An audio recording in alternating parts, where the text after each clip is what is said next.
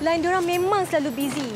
Tapi diorang bukan nak avoid klien. Siti minta tolong jap. Boleh tak sambungkan satu klien ni dekat you? Have a great day ya. Ini mama kami. Kadang-kadang dia boleh jadi pelupa. Lepas ayah tinggalkan kami, hidup kami terus berubah.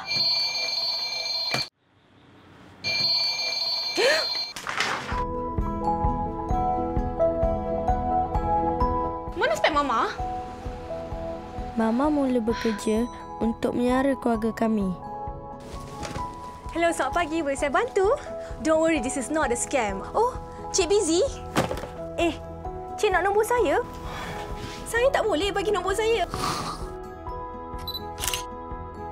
Sekolah macam mana? Okey? Okey.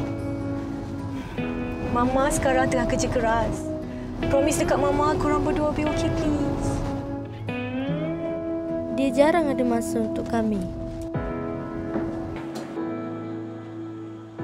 Balik lambat tu. Biasalah.